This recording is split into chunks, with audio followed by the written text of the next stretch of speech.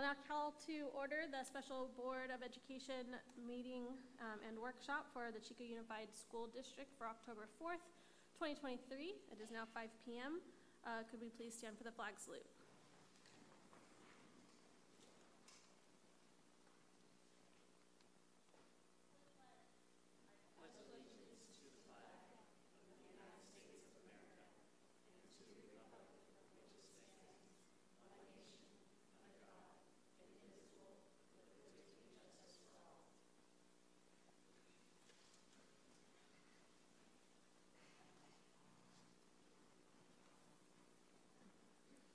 Alrighty, uh, if there are any board members that have announcements, now is the time to provide those.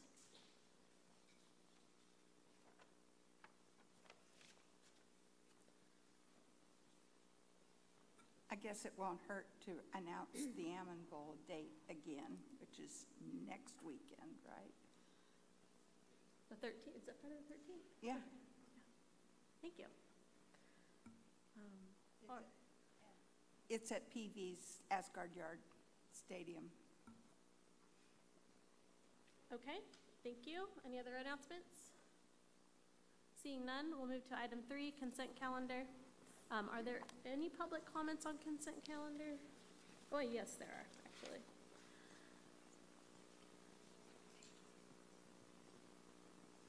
Um, So we can take public comments from um, the consent calendar. Uh, We have Sean Mossman signed up.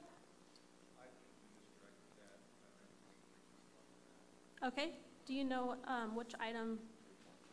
Sorry, thank you. Thank you. Okay, so seeing no additional um, public comments for consent calendar, are there any um, board members that would like to pull an item from consent? Okay, um, then in that case, do we have a motion? I'll move the consent calendar. I'll second that motion. Okay, we have a motion by Mr. Tennis and a second by Ms. Robinson. Um, I will say, uh, it wasn't, um, a point to need to pull an item or anything like that, but, um, the only thing that I, I had a question for district staff on with the consent calendar was that there are the, um, the site plans for, um, uh, for safety, school site safety. Um, very good comprehensive plans, um, and I just had a couple questions about, um, sort of broader um, evacuation type um, and like wildfire readiness. Um, I feel like the, this community doesn't necessarily put enough stock in wildfire readiness, and so I just had some questions from the district on that. And uh, there, there may be a little additional information coming about that later on. So, uh, thank you. Um, okay, so we will take a vote. Um, it's our first vote of the night, so we'll do roll call vote. Um, we'll start with Mr. Lando. Lando, aye. Tennis aye. Dalby, aye. Robinson, I. Konkin, I. All right, um, it passes five zero. And we will move on to item number four, our board workshop. Uh, this is informational. The topic is physical education, dress code, and locker room privacy. Thank you, uh, President Dalby. I'll be bringing up Mr. Pedro Caldero to do the presentation, along with some teachers that we have um, for tonight's presentation. Again, uh, as you guys know, um, Mr. Caldero is now our new Director of Secondary, and this is his first workshop presentation. So here we, Take it easy on me, just so you guys know. Like you said, this is my first one. Maybe not the first time up here in front of the school board, but definitely my first presentation. So um, as we go through these slides and I give you guys some information with regards to PE and grades and dressing down and safety, uh, please know that um, I'm hoping that you all allow me to go through all the slides and then ask questions afterwards. At which point, I will have uh, two teachers also join me, Carrie McGar from Marsh and Mr. Lawrence Taylor from Chico High School, as well as our secondary school site principals, the junior high and the high schools. I'd like to go over the um, state and federal mandates So the very first thing is all students in grades 7 to 12 must receive a minimum of 400 minutes of physical education instruction every 10 school days, and that's per education school code. Local school boards may exempt students from any two years of physical education in grades 10, 11, or 12. Since July of 2007, students must pass the physical performance test administered in grade 9 to receive the two-year exemption, and that's also per education code. If exempted, students must be provided a variety of physical education elective courses. There are some federal mandates with this. Uh, high school physical education courses uh, content must include instruction in each of the content areas, so you will see the effect of physical activity upon dynamic, dynamic health, mechanics of body movement, individual slash dual sports, gymnastics, tumbling, team sports, rhythm dance, and then one of my favorite combative sports like wrestling. Dress code policies. So for middle schools, all students, and this is true for high schools as well, and uh, as I will share, all students are required to dress down for PE. Students can purchase PE clothing from the student store or bring their own from home or use CUSD provided PE clothes. For high schools, all students are also required to dress down for PE. Students can purchase PE clothing from the student stores, bring their own from home, or use CUSD provided PE clothes. The, our LEA requirements are as follows. Each local education agency needs to establish a PE dress policy for its district. It is appropriate for students to change their clothes for hygiene, safety, and movement efficiency, and for efficiency purposes. Keep that in mind because that's going to come up later on. CUSD requirements, AR 5132, the principal or designee may impose dress requirements to accommodate the needs of special school activities, physical education classes, athletic activities, and other extracurricular or co-curricular activities. And student, here's, here's one for our students because I know as a, uh, the principal at Chico Junior, we always had students say, why can't we wear hats? Well, guess what? You can. Students shall be allowed to wear sun protective clothing, including, but not limited to, hats for outdoor use during the school day, as per education code. What does dressing down mean? So when students come in, what is really required of them? For both junior highs and high schools is as follows changing into athletic clothes and shoes that allow the student to move freely and to participate in the activity. This can be school PE, this can be a school PE uniform or athletic clothing similar to school colors. And or it could also be just changing out of your clothing, your school clothing and changing into a t-shirt and or shorts and or sweatpants. PE grading policies for dressing down also keep this in mind because later on I'm going to show you guys some grades and then we're going to start going, oh my gosh, why, why is that? That doesn't make sense. So middle school, three out of 10 participation points for suit cuts. That means not dressing down. Uh, Bidwell Jr. has minus five out of 10 for not dressing down.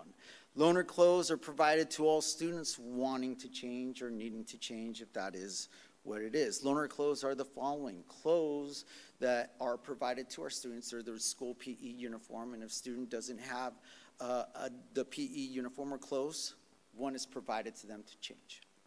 Sorry, Pedro, I have to break your rule of not interrupting you. Okay, that's fine. It's been every slide so far, but I've been taking notes instead. Um, just for clarification, because the bullet I don't think is clear enough to anybody who maybe hasn't had this discussion already where it says three out of 10 daily participation points for suit cuts, that, that means that three points out of 10 are taken away. That is Not that correct. they are getting three points That for is the day. correct. Okay, thank you. All right. High schools, same thing. Uh, they lose three out of 10 points for not dressing down. Uh, those are participation points for suit cuts. At Chico High, right now, it's four out of 10. They will lose four out of 10 points for not dressing down. At Alt Ed, guess what? They don't have to deal with it. They don't have locker rooms at Alt Ed, and so they do not lose points for dressing down. Parents are informed of all options at back-to-school night via the course disc- uh, expectation sheet. And then, here's the big one, is can a student fail PE for not wearing standardized uh, apparel? Under education, uh, sorry, Education Code 49066, Section C states the following. No grade of a, of a pupil participating in a physical education class, however, may be adversely affected due to the fact that the pupil does not wear standardized physical education apparel, where the failure to wear such apparel arises from circumstances beyond the control of the pupil. So that means that if a student, for some reason, cannot dress down, that's based out of his control, that student cannot fail PE. So why do we dress down? One, it creates a mindset that you are ready to exercise. Two, athletic shoes for safety, right? You can't play basketball in sandals. Well, I, I mean, technically you could, but if it falls off, you can fall and hurt yourself. Physical movement hindered by certain clothes. Of course, if you're wrestling in jeans, that could be very difficult, or if you're doing any sort of acrobatics, that could also be very difficult. Uh, although I can't say that the new jeans that they make today are extremely elastic. Uh, hygiene, that's also important. All students have the same uniform, and by that meaning all students look this, have the uniform, and, and it creates a team feeling and setting. By staying in their school clothes, students are less productive because they become concerned with ruining their school clothes. And that is a concern that comes down. PE grades. I don't know. Hopefully, this visual is good for you guys. Or do you guys have it on your Chromebooks as well? Okay, excellent. Just know that this reflects the LCAP. And uh, so we have the following we have all students, and it goes by C or higher. So at the, if you look at the top, 92.5% of our students, and this is all secondary school sites, minus Fairview. So uh, that's an important thing to know. Uh, grades 6 through 12. So 92.5% of our students have a grade C or higher. We're going to go into deeper detail here with this in a second. Uh, 4.2% of the population of all our students have a D, and then 3.2% have an F. Foster youth, you can see that right there. That's pretty high, uh, where you see the amount of students that are passing, they're at 79.2% that are passing that have a C or higher. 8.3 have a D, and of course, 12.5% of them have an F.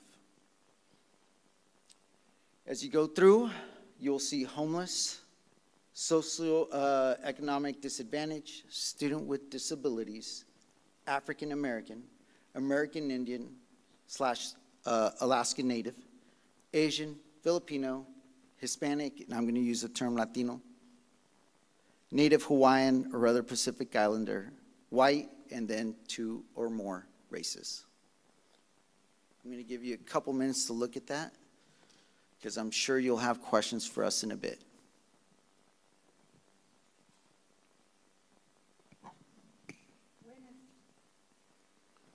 When does your a bit start?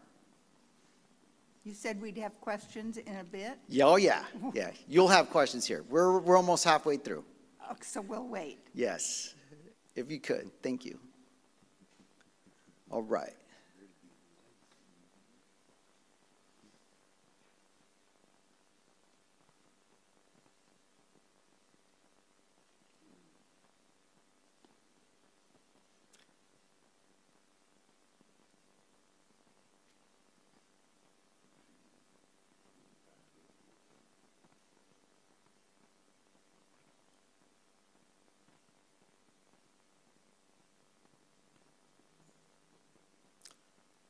Okay, I am going to go to the next slide now. Here's the grade distribution. At the top, you will see Bidwell Junior High School. The A's category, you have 826 students, or 85.3% of that population that got A's. If you recall from the previous slide, they also had a uh, point, sorry, they could lose five points for not dressing down. They had the highest loss of points for not dressing down, yet they have the highest A total. And if you scoot on over to the F category, you see the lowest amount of Fs, which is, I'll be honest, I didn't expect that. I was at Chico Junior last year. I was like, what? What's he doing over there? So then you have Chico Junior, which is next, and we have a, you know, Chico Junior has a, uh, you lose three points for not dressing down. Uh, 51.1% of our student population received an A. If you look over to the F side, 31 received Fs. Marsh Junior, 533, or 71.3% of the population, received As. If You look far over to the right, 5% received Fs. Or sorry, five of them received Fs. PV, 437 students received As. 16 received Fs, which is 2 point, or 2% of the population, right? Chico High School, 334 received As. And you look to your right, 72, or 10% of the population received Fs. In total, 2,589 students, or roughly 63.2% of our student population, received As, and 128 students, or roughly 3.3% of the population, received Fs. I want to go over locker room procedures because it's important to understand what this looks like. The bell rings, it's the beginning, first period. Students run to the locker room or walk to the locker room. Students go into the locker rooms to change. They are given five minutes to do the following. They have to open up their lockers. They change into their PE clothes. They lock those lockers, or before they put their stuff in their locker, then lock them. They, then, then they confirm they are all meeting for roll call. They, usually that is posted in the front of the locker room.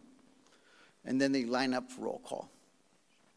At the end of the period, students go to, into the locker rooms and change. They're also given five minutes. They open up their lockers, they change into their school clothes, and then they go to the waiting area for the bell to ring. All schools, all, sorry, all middle schools and high schools have a designated waiting area because what we don't want is students disrupting other classes when they change out early.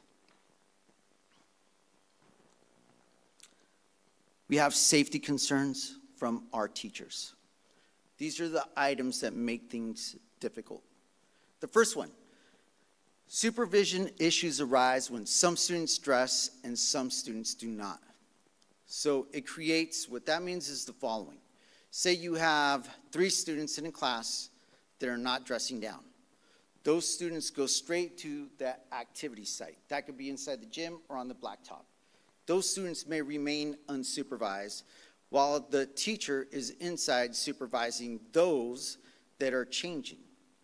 Now, what happens is as teachers, as they decide or as the uh, students are changing, you have more students going out towards the blacktop, right? When you have the vast majority of them going out towards the blacktop, then you have your teacher following them.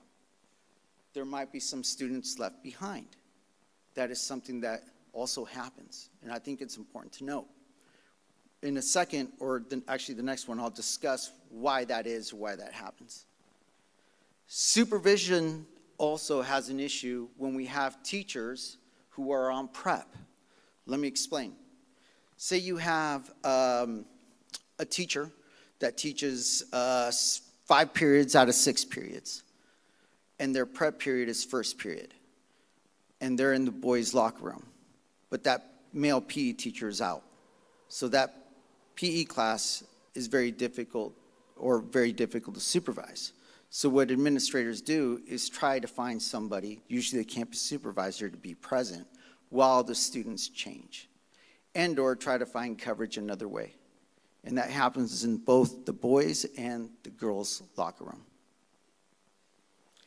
Another issue that becomes very difficult, and I think that's a very perfect slide, is, and there's going to be some additional pictures to provide supervision within the locker room, is the actual configuration of those locker rooms. I equate it to the following. You guys go shopping in Safeway or Walmart or you name it, any type of superstore, and they're huge aisles. You can never see the other people on the other aisles. It's impossible. It's very difficult. You can even go to the end and you cannot see behind them. The way the locker rooms are built, supervision becomes very difficult. But you also got to recall when they were addition, when they were initially built, they were also built for privacy, so that students couldn't see on the other side. So it's a very interesting dilemma. They created privacy by creating these walls, if you will, and not being able to see beyond them, but it also created supervision issues. The other problem is out of date locks. So, what I mean by that is the following Do you guys remember when I said you have some students left behind in the locker room? And then the teacher's following the other students out to the blacktop or to the gym.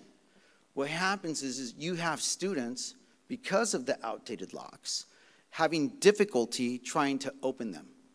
They may forget the combo locks, or even worse, this does happen, you have students because they are the, I guess, removable locks, meaning that they're not attached, and I will show you here in the next slide. The student will take off that lock, find it funny, go put it on another lock. And so when you have a student trying to unlock their own lock, they can't do it. So now you have your teacher trying to figure out whose lock it is to help them open it so that they can be out on the blacktop on time for roll call while the students are out there and the rest of the teachers in PE are trying to cover. Very difficult. Other issue is, of course, cell phone and cameras, or the cameras on the cell phones. Very difficult now. You guys all know that, you know, we have TikTok, social media, which plays a vast, I mean, it's important in the lives of our students. At the same time, it's a danger in the lives of our students because, quite frankly, they don't have the maturity level um, to be able to make the best decisions when you have, you know, when they turn on their phone inside the locker rooms. Things are going to happen. So supervision is extremely important, and that is a concern from one of our from our teachers. Now I get to talk to you guys about Aeries data. And I need everybody to kind of follow me on this. Within Aeries and the way that we input data in Aeries as administrators, is when there's a, a we have a tab called uh, assertive discipline, where we input all um, documented cases of issues or concerns where a student may have or is uh, disciplined. So we looked at all secondary sites, excluding AFC, um, Fairview, and so Alt-Ed. We excluded them because they do not have locker rooms. And there was in 2023 11,478 total entries. That encompasses everything in terms of discipline. 69 of those entries, which were documented within Aeries by administrators, occurred nearby, outside, uh, going to, walking away from the locker room. That also includes maybe someone went in the locker room unsupervised, stole a cell phone or stole something, and then they came out. Five cases or five entries were documented as having occurred within the locker room. So those five cases would mean there was an actual fight that occurred inside the locker room. So I want to just share that data. That was 22, 23. Here's 21, 22. You may ask, why is there such a discrepancy between uh, discipline, right? And I'm going to tell you from 21, 22 to 22, 23, Chico Unified grew. We had more students along with more students sometimes means there's a little bit more adventure, which means that more students are getting in trouble. And therefore, we, you know, you saw the higher number in 23, 24 versus, sorry, uh, 22, 23 versus 21, 22, where there was 8,701 entries. Of those, 72 entries were associated with the locker room. and there were five associated, or five of them having occurred inside the locker room.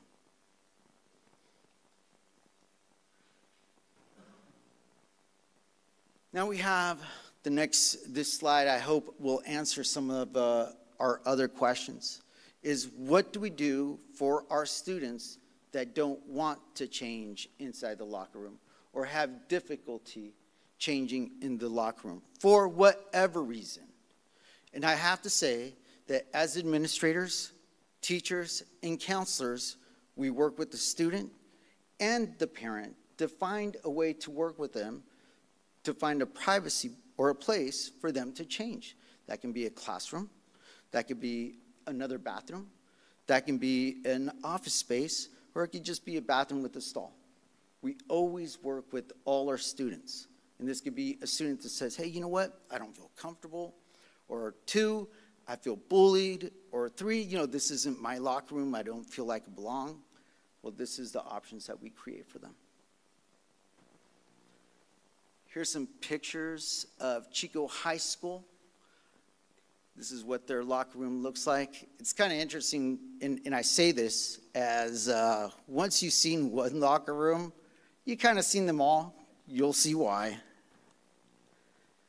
There's PV, and I'm looking at PV at the right, and I'm like, oh goodness, look at that. That's Chico Jr.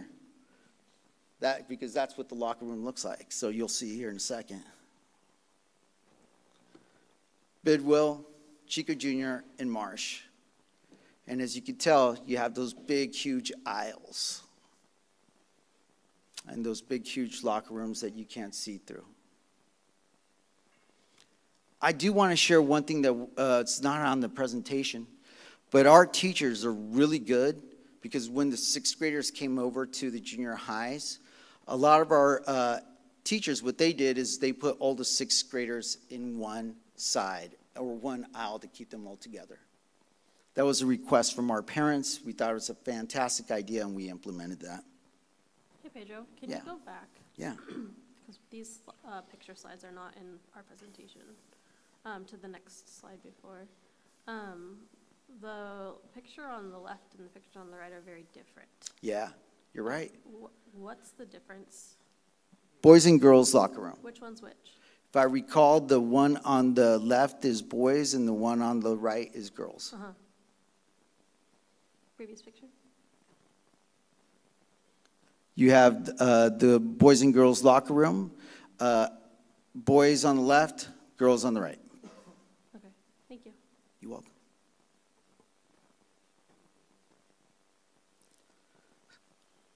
So we have some recommendations from our PE teachers. So the first one is locks. And if you could see there, these are the type of locks that they're hoping to get. As you recall, some of the supervision issue was that our students having to deal with outdated locks and our students having difficulty opening them and or forgetting to lock them. Then they get lost, misplaced, or worse, they get placed on another student's locker, which then creates a security issue. The majority of supervision issues arise from staff not being able to be two places at once. So uh, they would like additional supervision inside the locker room. It's difficult for them. The other thing is every student, they, they really would like to see every student wearing a uniform. And they've also asked that for the school district to provide a uniform, as, and this has been requested from the high schools. All sites have requested, the, they would love to see water bottle filling stations on the blacktops.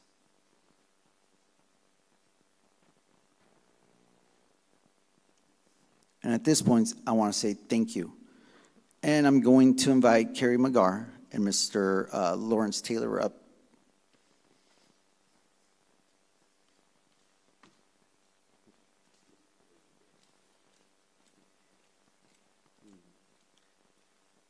And at any time, we could also ask our uh, junior high and high school administrators to come on up as well. But I'll let that be come from you.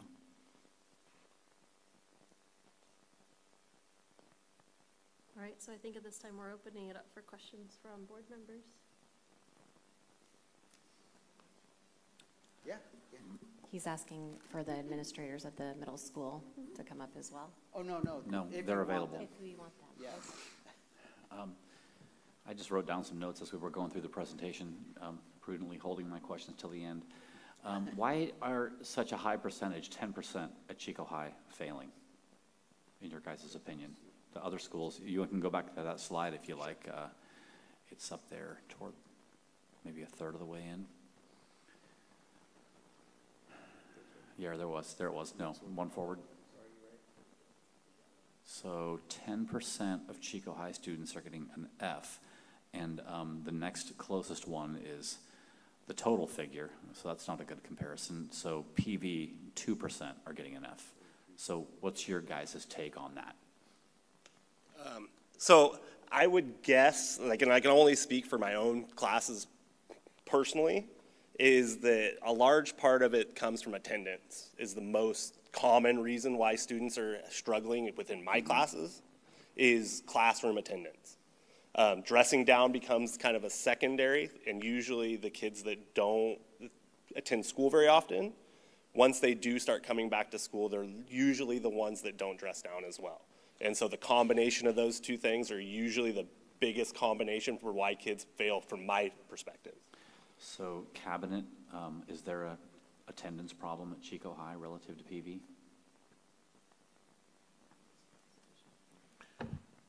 No, I would think that they're pretty similar um, on what kids are attending at each school. Um, I would have to look, uh, Tim, I don't know if you, off the top of your head, would know what their attendance rates were last year? They're both around ninety-five percent all-day attendance. Um, We don't track period attendance though, so that could be what, Okay. Well, I'm not complaining, okay? I mean, if Chico High wants to fail students for not attending PE or not dressing down, you know, it's okay by me. Um, I am really curious as to why PV is coming up with such a different number. That's a really remarkable difference, ten percent versus two. So I'm just gonna point that out. Can we stay on that topic? Because I have questions Sure. about the same thing. Thanks. Um, So kind of rolling with that same question, um, so if we just look at the high schools, um, a D or an F, we're seeing almost twenty percent at Chico High, um, and a D or an F at PV, we're seeing six percent. That's a really, really big difference. It's a significant big difference, and the only thing that we're hearing right now that's different is the four points, minus four points versus minus three points. I mean, I would love to understand better from any of our PE teachers, like how is PE graded and how does a student fail or even get a D? Like how does a grade drop in PE? Um, so that's um, kind of the bigger question. Um, and then from that, I can kind of glean why the foster and homeless youth are failing at a higher rate because of the two things you just said, attendance and dressing down. And I would imagine also participation. If they're not participating, that's a big portion of why kids aren't um, excelling in the class. If, again, if some of it's attendance, if they're not making up the work that they missed, um, if there was some type of assignment that they needed to do and they didn't make up that. But I would imagine most of that would become with um, participation, that the kids are just not willing to participate. Why they're not participating at a different rate at Chico High versus PV, I couldn't answer that question. And, uh, and again, as this teacher he would be only, only be able to answer to his class. Yeah, and if they're not dressing down, if they're consistently not dressing down, they're, the best that they're gonna have is a sixty percent at CHS, which is a zero room for error. They need to be getting hundred percent in everything else. And that's just not the way it works in our world.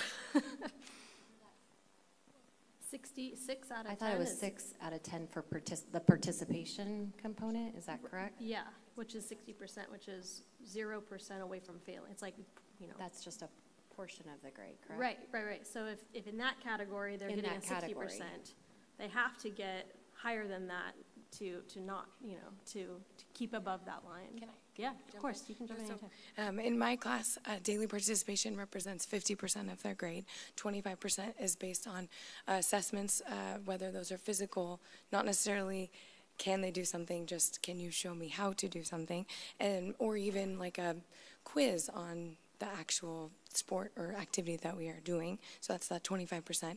And then that other 25% represents that personal and social development that happens, the, the sportsmanship and the, the things that occur with group and team activities. So it's not necessarily the, this, for us, it's a seven out of 10, but that only represents that 50% of their grade. And that is true across our site. I don't, I don't know about ours. Sorry, where, where do you work? I'm sorry. Marsh Junior High. Okay. Green.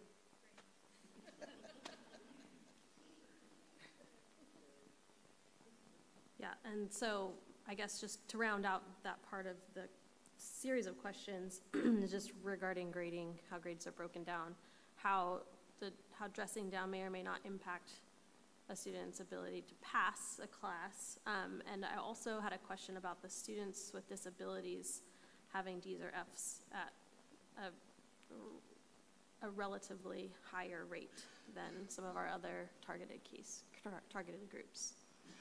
So just some orange flags for me. Yeah, go back to that because that, I, I missed that. So, so you're telling me that students with disabilities are also failing PE. So can we give some kind of careful, thoughtful analysis as to why that is? Come up with Yes, uh, I can. There is also a high absenteeism um, within that group. And so anytime that you have a high absenteeism within uh, a certain population of students, uh, of course, uh, uh, the way that it's set up within PE, uh, the students will, it's very difficult to pass. And I also need to share that um, unlike other uh, subject areas in um, junior highs um, and also in high schools, well, sorry, just junior highs. I won't say high schools just yet. It is a federally mandated class. It's not only a federally mandated class, but they need to have 40 plus minutes of daily physical activity inside that class. And that is the assignment inside of that class. So when that student doesn't do that, which is that assignment, um, I, I will tell you that only having gone through this at Chico Junior th- through a federal mandate um, uh, audit, if you will, uh, they looked at that very badly. And they want to see records of all the students and all the minutes that they are doing to ensure that they are getting 40 minutes of daily activity. It's a very, very, um, I guess, intense recording process of making sure that students get physical activity. That's for freshmen too, right? I do not know that answer, whether it's, uh, happens for freshmen I as mean, well, it's- but it- It's, I mean, guess I'm just inferring from the requirement of uh, only 10, 11, or 12th grade, you can take away those requirements. It sounds like freshmen is required too. Um, Sorry, I think you might be more formulated than me right now. So I have a, a question, um, a curiosity, like, I have a pretty high opinion of all you guys, our staff and administrators. I think that you guys are pretty, doing a good job out there. And, um, if a student came to you, uh, I'm sorry, sorry, I missed your name. Uh, Lawrence Taylor. Great, thank you. Um, and, and said, not like a junior high kid would, would do this, right? I mean, but, but if a kid came to you and said, you know, I'm really having a hard time with this fill in the blank unit because of my such and such disability. You know, I mean, junior high kids really don't talk this way in my, in my experience. No kidding, you know? But, but if one did and could, and there might be that old soul out there who, who would approach you one-on-one and give you a message like this, how would you handle that situation? Um, just like with any student in any class, is that when uh, they approach a teacher with a problem, is that the first inclination is to help them with said problem. So long as it's reasonable, I mean, again, kids are going to come up with every excuse in the book for the most part. But if it's a legitimate concern and they're coming to you with a problem, is my first inclination is to try to fix the problem. Um, so I would, if I couldn't fix it myself, then I would approach my administrators, my department chair, things like that, to try to to um, alleviate the problem. Would you ever go out of your way or your colleagues, anyone, feel free to speak up, to, to notice a kid that was, had a disability, maybe a visible one, or, or one that you were merely aware of, and, and was on the sidelines and, and engage, I mean, this is your job, right? To like, uh, to engage a child who's not participating and try to maybe put it together that maybe there's a reason why they're not, and, and try to fix that problem. If we're talking with a student with an IEP or, you know, a special ed student, they would have already had a transition meeting or a meeting with the IEP team to see what the accommodations for that student would be when it comes to their disability. So it would be no surprise to them if they had a student with a disability in their class, and they would work around the accommodations for those students in that PE class. So I just want to make sure that we are, we are clear on that. That's what it comes to with a student with a disability. So if we're looking at if they're still working within their IEP and their accommodations, and a student, let's just say it's a speech student, and their accommodation has to do with speech, and they're not participating, then that's when their grade would fall. If there's something else within their accommodation and they're not with those accommodations and it's still not working within that participation, then that's how their grade would fall. Am I correct? Okay. And we're super lucky, sorry. Uh, we're super lucky in that our, our special department does an excellent job of giving us that information before school even starts. So at our very first staff meeting before school, I'm handed all of my kiddos and I can see what are accommodations that have worked. I can see all the exact diagnosis of what they're struggling with, and then it's broken down for me. Okay, Um, and then, does that translate from school up into the new school? So your new crop of kids, are you hearing from, from like the previous school and then down to high school and all that? Okay. Don't forget to talk into the microphone, um, because of the, so the rest of the crowd and, um, our folks on, on YouTube can hear. Um, The so millions of people who are watching worldwide, they want to hear what you have to say too. The, sorry, the last thing that I was trying to formulate was, um, just to clarify that students are not necessarily, they're not, they're not gonna fail because they are absent. They're failing because they're not making up the time from being absent. And there's an opportunity to make up that time, since we can't actually fail students for being absent. You're correct. Hundred percent correct. However many days that they may be absent, if it is an excused absence, they get that many days uh, to make up that assignment. And in this case, that many days to make up the PE workout.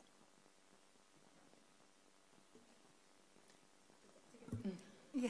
I have a couple questions, but I think probably what I'm hearing is that um, students who may have, um, maybe specifically just missing the PE period, correct? Like it's an unexcused PE. They're there maybe for the rest of the day, but they don't show up for that particular period. That does happen. Absolutely. Okay, That even then- happens at the junior high level. Yesterday. And then um, my other uh, question for teachers, I'm definitely hearing um, from the presentation that um, the schools are favorably looking upon uh, um, having the students be in a, a uniform, like a, everybody wears the same one. Um, I'm curious, um, just what you consider uh, appropriate, what, what you would consider appropriate athletic wear. I mean, I know what I consider appropriate athletic wear, but if a student, girl, guy, whatever, shows up in jeans, um, as often you might in, in winter, um, how is that considered okay, not okay? Does this vary from class to class, teacher to teacher, school to school? What, what do you individually consider passing for athletic wear? Um, so at Chico High, we have a tendency to go with t-shirt of some sort, shorts or sweatpants. They can wear sweatshirts or jackets if it's cold. Um, but big thing is we're looking that they changed out of their school clothes. So if they're wearing their jeans out to PE, it's a pretty safe bet that they're probably not changing out of those into another pair of jeans to go out to do PE. Um, like Mr. Caldera said, is that jeans are getting more and more active-esque, I guess. But we typically we're not going to allow jeans to cut it as PE uniforms. Um, we don't really care so much about the colors, um, long as they're changing into something that they can move around in that's safe, that's not going to be revealing. Some um, some females will come in with stuff that may be a little bit too revealing. That if they start moving around, that we could have some wardrobe type malfunctions, and we have to go have them get something else on. So all I see on um, high school campuses and middle school are Crocs. Are kids changing out of their Crocs and do a pair of tennis shoes every single time? Um, no. Um, and that at Chico High, we that's that's a suit cut. That those are not athletic shoes. They're dangerous in a lot of fashion. They'll, we have a lot of kiddos that will say, "Oh, but I have them in sport mode." I mean, my, my kid's the same. I have a 10 year old, and he will go out and run as hard as he can in Crocs, and it can be done, but it's not a safe. If they cut wrong, is that we're trying to cut down on injuries as well with the footwear. So we say no to the Crocs, uh, Birkenstocks, uh, slides, that type of stuff for safety reasons. I, I do want to clarify something on the Crocs, just in case our public is listening. Uh, Crocs is a brand, and they have multiple shoe, types of shoes that are also called Crocs, and some of them are actually used for CrossFit, uh, which are actually used for athletic purposes. So just want to share that, just in case our public may not understand. I'm talking about the part. ugly plastic ones. Yeah, oh, I, I hear you. It's the one my wife won't let me buy. Yeah.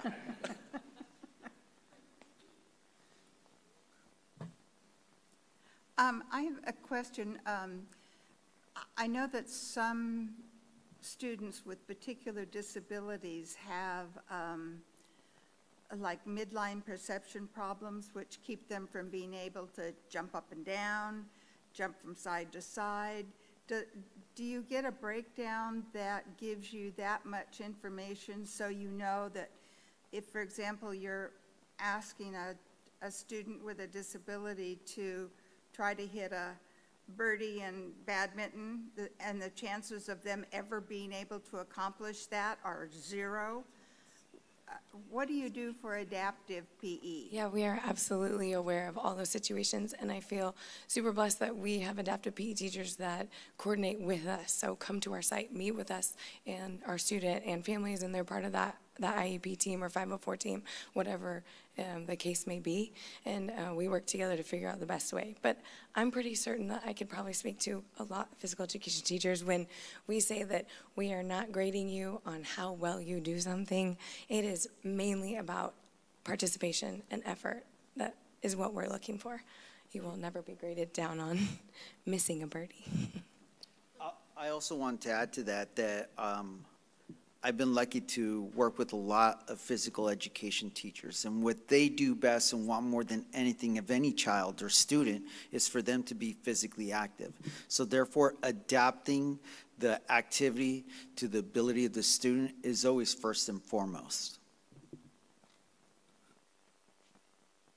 Um, how do you respond when a student might come to you and um, just let you know that they really don't have other clothes to change into? Are there always loaners on hand, or um, I, I just am imagining, you know, a kid who might just not have that set of clothes for whatever reason, you know, switching houses or other other reasons.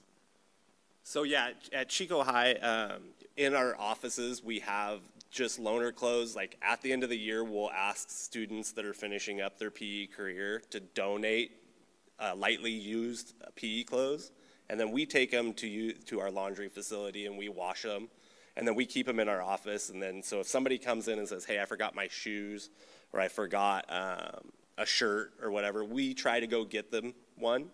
Um, if for some reason we don't have a size or something, is that we will go go to the stock and just grab another one out, and then we'll turn it into a loaner to give to them. Um, also, um, a lot of the times we'll have uh, counselors come to us and say, "Hey, w- this person came to us and they need PE clothes," and then we just go have a we have a grant policy and we go get them full sets and and uh, grant them those. When they come to you for um, loaner clothes, do, um, I should call it temporary clothes, loaner sounds, I don't know, negative.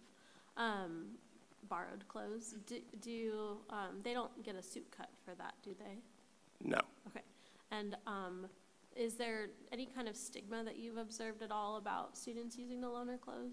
Sorry, the borrowed clothes? No, because our borrowed clothes look identical to our regular PE uniform. Like they don't have any designation on them that says, "Hey, by the way, I borrowed this." It's no, it's just, um, and we don't have a, a strict policy where if they don't bring them back, is we're like, okay, whatever, we go with, the- go to the next grouping and just continue on. We're not chasing them down for them afterwards.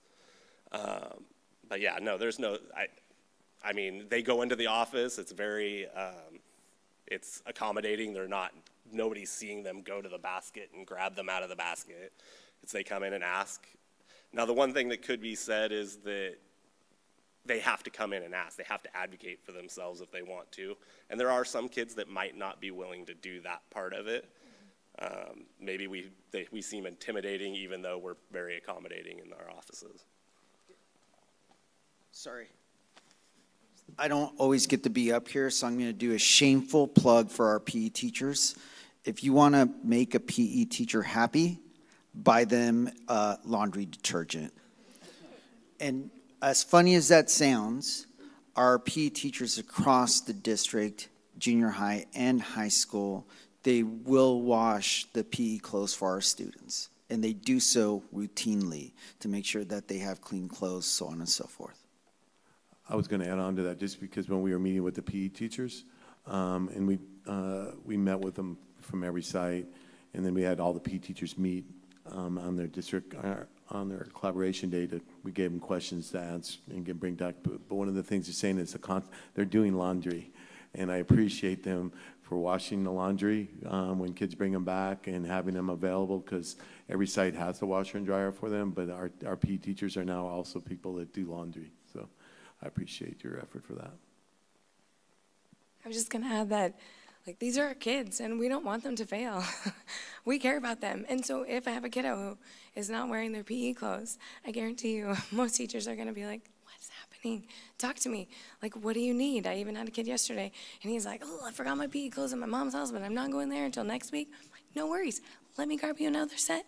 Now you can have two of both houses. Like, I don't think anybody's out there to, to get you when it comes to dressing down. I think we really want what's best for all of our kids, and I, I don't think they want to wear their cute school clothes out to PE. And, and I, I think, you know, they have their tennies that they don't want to crease. I don't know if you guys have that in high school. so I feel like, I, I think that we all want what's best, and if eh, we're going to definitely go out of our way to ask our kids, what is going on? How can I help you?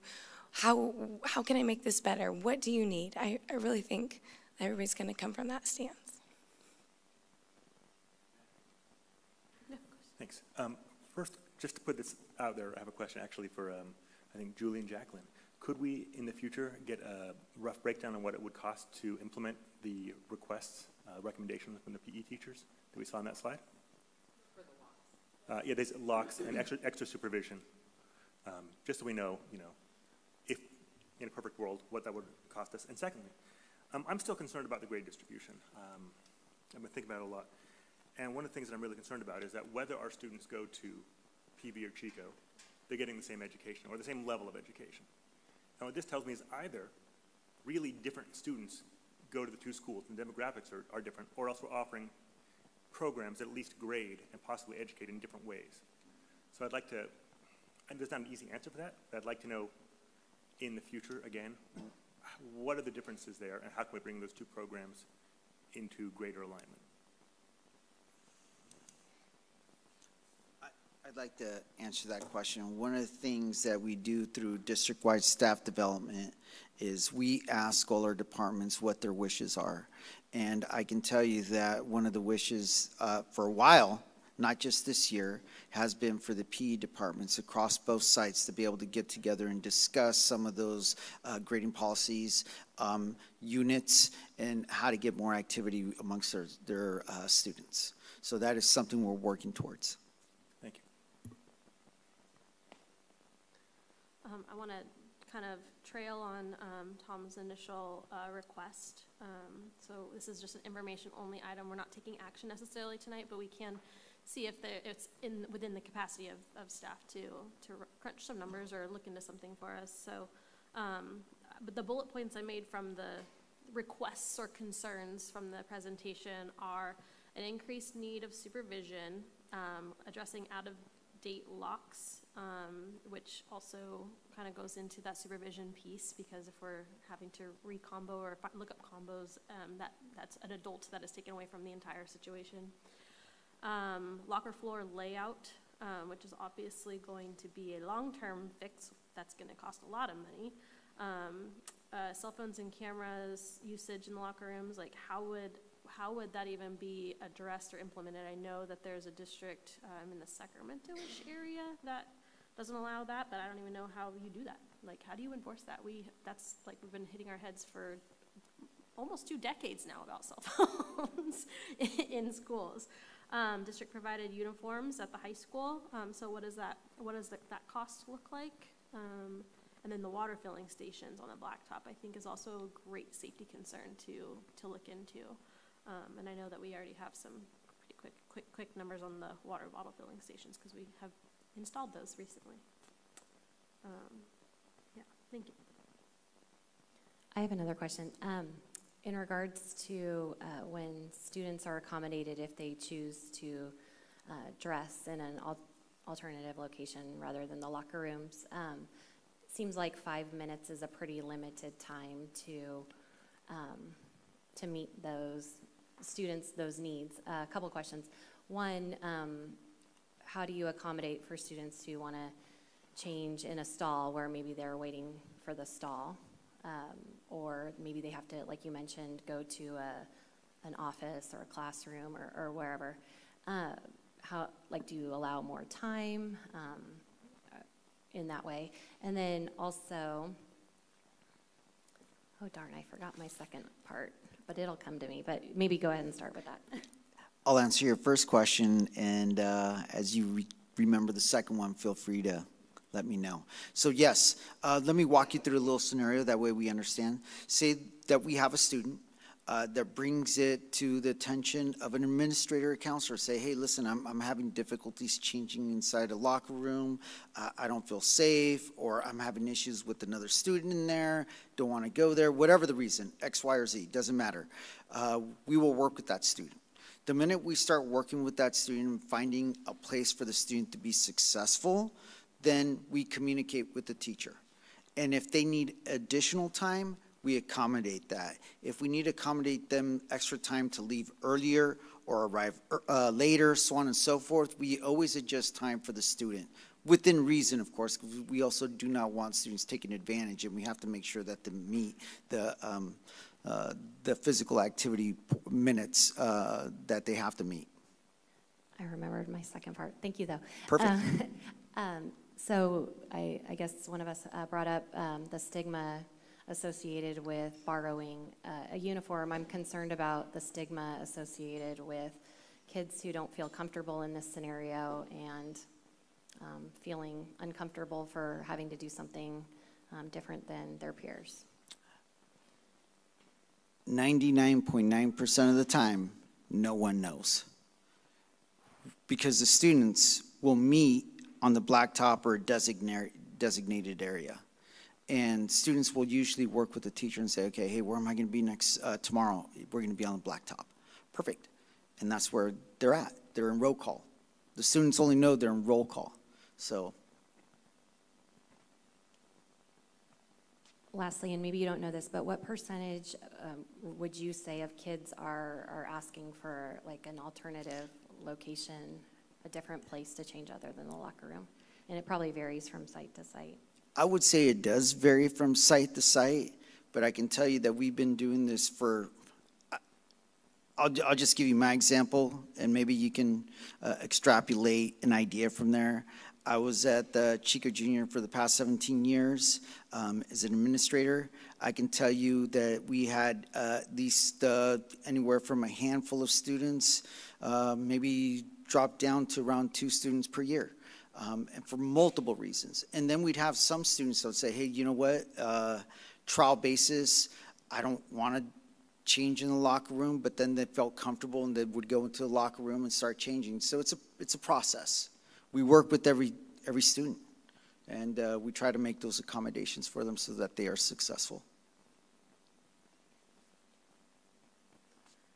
Just for my clarification, um, tardies and PE are counted if they're not on the, like, on the blacktop in time, right, in roll call, right? So, so at the, the regular school tardy bell is not the same as the PE tardy notice, okay. That was just my, making sure I'm understanding the full picture. Thank you. It's, uh, I could add to that, probably go longer than, sorry, Jay. I could say the following, is that, uh, students are very, very savvy. And they know that they can change in like two minutes. So some of the favorite classes that they're late getting into the locker room is usually PE, if that makes sense. The bell rings, they go, man, I can change in two minutes. I don't need to walk there. I, I could run there later. And so they're hanging out with their friends a little later. So it's kind of interesting how that all works out. Um, Can I shift gears and bring up a different subject? I mean, As long as it's related to the board workshop Oh, yeah, topic. it's related, oh, for sure. Um, Cameras on cell phones. Um, I think I brought this up in our meeting, but, but I don't, we didn't talk a lot about it, but um, does, uh, England, the UK, I I don't remember if it was one county or, or the whole country, but, but last week, they banned cell phones in schools, you know? Um, I'm sure somebody somewhere in California has talked to you, Madam Superintendent, about whether this is somehow doable and, you know, what, what, what are the options for maybe doing something like that here? Because I know that just a lot of so, social media, and there's just a lot of things going on with cell phones, potentially cheating, artificial intelligence. I think if you asked educators, they would be game on, let's not have cell phones in schools. I think if you ask parents, that's a very different response. I think our parents really feel that they need that connection with their children, especially um, to and from school, or uh, if they feel that, you know, our society, we, there have been some situations where they feel unsafe, school shootings, for example, and they want that direct contact with their students. Well, I'll send the message out there to the world that I, I know a few parents here in town.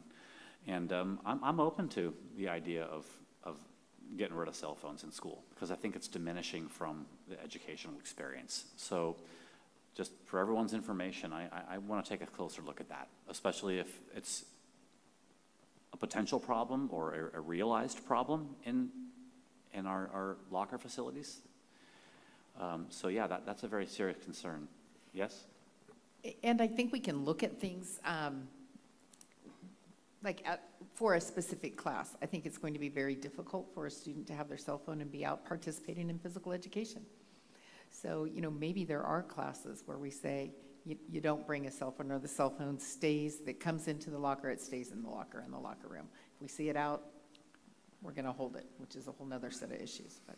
And I want to clarify most of the time, and- and Carrie, if you guys, if you want to chime in, is that kids have to keep their cell phones in their backpacks and, and put away. Is that true, administrators? And They're not supposed to be having them out anytime in classrooms or in locker rooms or PE without teacher permission if they're going to be using them in class for something, but majority of the time, they have to be put away and off, correct? Um, Is there like a, uh, what, what's the circumstance where your cell phone could get, we, this is maybe uh, the topic for, I, I realize this could be a whole nother conversation, you know, but, um, you know, I mean, just like you're saying, like, hey, put that away. We don't, we don't allow cell phones here in the, in the locker room. Is, is that pretty much as far as it would go? Or it'd be like, oh, that's mine. Give me that right now. I mean, what, what, where's the discipline scale at? Um, I try to avoid taking cell phones because some of these kids' cell phones are worth a week's pay to me. so I, if anything has, were to happen to it while it was in my possession, is that kind of ends on me. So I don't take them, but I will, if it gets to be a big problem, I will radio a campus supervisor to come get it, and then it goes to an admin to deal with that, and then they have to get it from the admin. I mean, to be clear, all jesting aside, it would not be your problem if you were on the clock with, you know, it would be the problem of the school district. If he broke a kid's cell phone, it wouldn't be him paying for it, it'd be us paying for it, you know? Um, but we can't have kids uh, bringing cell phones into locker rooms where they might be filming people, right? So that's a serious problem, and we need to have a serious uh, approach to it, I think. Um, we, we do have the approach of if I see it is out, then I am taking it and I am turning it into my administration. And um, it was a lot more prevalent earlier in the school year, and now students, uh, it's much less, thankfully. thank you for taking that firm hand, and it sounds to me like they got the message, and so they're not doing it anymore. I would encourage, uh, I mean, we should be doing stuff like that.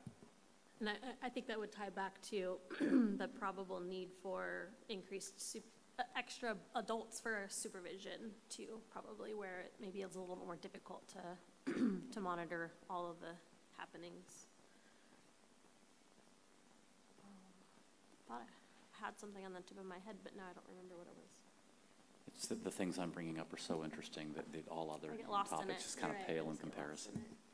Oh, yeah. Um, does there, I'm kind of going back to what you were saying about, um, the, the low number in your experience at Chico Junior, um, the low number of students who really emphasized the desire to have better privacy while they were changing for, for PE. Um, there are, in the locker rooms, there are like bathroom stalls, right, that they can. At Marsh, there's four. Oh, in the girls, there's four. And then three in the boys. It's the same at all three middle schools. There's uh, anywhere from three to four in boys and girls locker rooms. Do you think that, that, I just am imagining being a middle schooler again and how it, it, it is, I mean, we deal with it and we eventually get used to it, usually. Um, you know, there's always gonna be, a- and I hope that it's better today than it was, you know, when I was in school a long time ago. Um, some of the comments, body shaming, sort of teasing that happens that maybe doesn't get reported out as like an a sort of discipline thing, but just, you know, kids kind of experience some of those bullying things, which hopefully are mitigated a lot by having an adult present, right? Um, but maybe if there's, um, like a, a more, I'm, I'm imagining like pop-up changing, you know, like temporary little changing units that people can just slip in and change their clothes out really quick if they wanted a little bit more privacy, but in that locker room space. Go ahead, Carrie. Um, I get it, and I, I do. I would like to believe that it is better, uh, but I, we do allow our students to choose where they are in the locker room. Yes, we try to group our sixth graders like in those rows together on the corner, but um, it, it happens all the time. Like, I don't really like where I'm at. I'm uncomfortable because of this situation. No worries. Let's change your locker. So let's go find a spot for you where you can be comfortable around people that you feel good, or closer to this area, or closer to the restroom because that's where you like to change. Or I think we're flexible in mm-hmm. trying to make sure that everybody feels safe in that environment. Mm-hmm. Also, like to add that our PE teachers are extremely masterful at talking with their kids and making sure that they respect one another. Um, matter of fact, that's usually what they spend the first two weeks of school is working on, make sure that they understand procedures, procedures in the locker room, getting in the line, so on and so forth. I'd like to say that they were the original PBIS initiative, um, just because of well, quite frankly, the way that PE ran was usually the way that your school went. So, uh, very, very highly organized group of individuals. Plus, five minutes goes by really fast. I don't have any more, I don't think. I, my, I'm just gonna say it out loud. I think it was inferred that, um, it'll be fun to see Chico High's locker room situation be revamped and e- e- equalated, equal, equ- equ- I, I don't know what the word is I'm trying to say. Equalized? Equalized, yeah, maybe that's the word I was trying for, yeah. Anyway, any other questions, thoughts, comments, comments for staff? Are you asking what I was talking about? No, the girls' locker room is definitely not as nice as the boys' locker room. It looks more outdated and, uh, smaller lockers and, yeah. It, it, it is outdated, but as far as on the boys' side, I will take the girls' side lockers Well, a that's a hundred times. different issue. And the, the girls' lockers are bigger. They're all big lockers. We on the boys' side go with we have big sports lockers, and then we have all small lockers. Gotcha. I, s- I thought I saw like some of the little, the little ones and a couple We- of the bigger ones and. We have the bigger ones for athletes, so they're for football pads and things like that. Like they go just to athletes. right. Nothing else? Yeah. Thank you. Big thank you. Yeah, I, I just wanted to thank the, uh, the presentation because I, I thought I knew what goes on in the locker rooms, you know, for, filling out the who stole my cell phone stuff for all those years of my wallet got stolen, my, you know, but your presentation has really filled in a lot of the blanks, and I, I appreciate the work that went into the presentation. Thank you. Again, I'd like to thank the teachers for being here tonight, and very good Thank you. job, Mr. Caldero, on your first workshop. Thank you very much, Mr. Marchant. Thank you. Thank you, Pedro. Thank you. Thanks, folks. Oh, yeah, yeah, yeah. mhm. Um, all right, so, uh, we'll move on to public comment for this item. So four point one, public comment. Um, I'm just gonna start at the top of the list on the, on the page. Um, and just a reminder that for public comment, um, folks are given three minutes to address the board. Um, at the thirty-second left mark, you'll hear a, a tone, um, a bell, and, uh, that signifies, you know, your time is nearly up, and please wrap up your thoughts, and, um, and then, uh, we'll move on to the next speaker. Um, and so I will call up Sean Mossman as our first speaker, followed by Dr. Christine Leisner.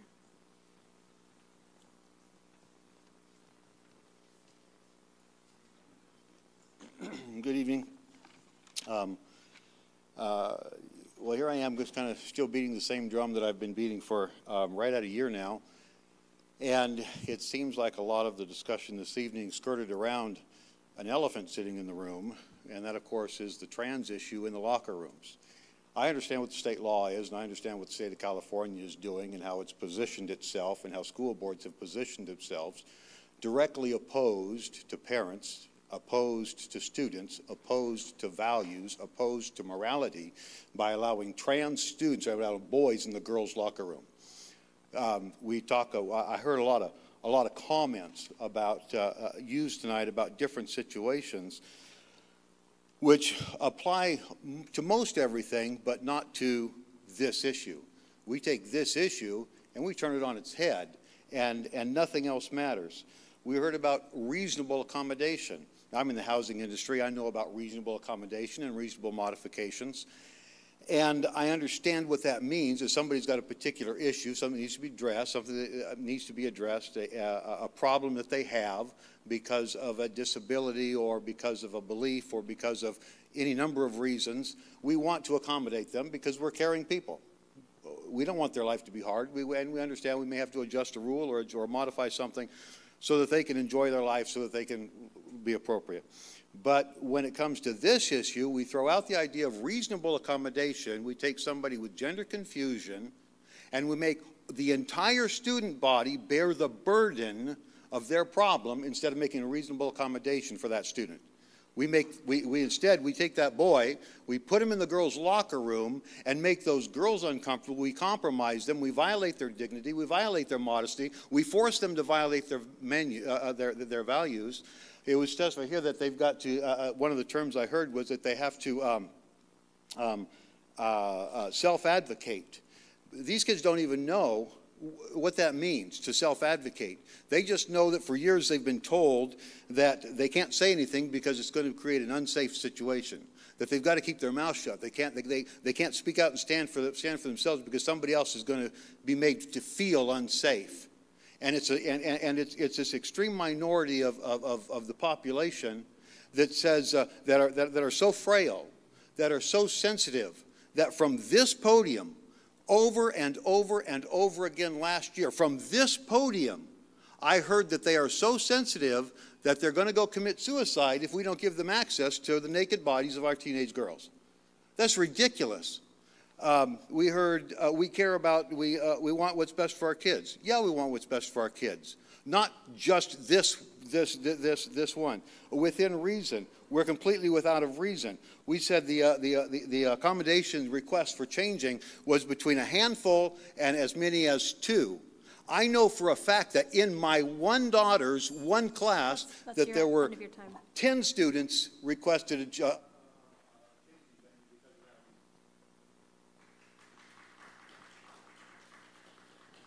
Uh, Dr. Leisner, followed by Michelle Cooper. First, I'd like to start off by thanking the three of you that supported the trans policies in the springtime. Um, that saves lives, and I thank you for that. Um, and I'm here today to express a hope that this wasn't targeting transgender kids, but unfortunately, it seems as though it is sometimes, especially for com- some community members.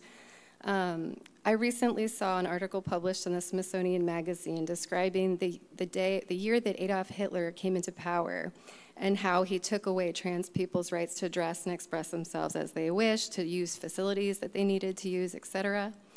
And this is the same flavor of fascist playbook that's playing out in our country nationally today.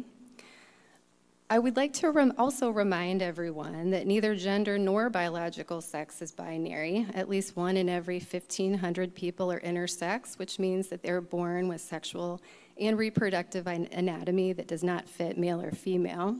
This is a conservative estimate. More people, one in every 100, don't match what's typical of male female anatomy.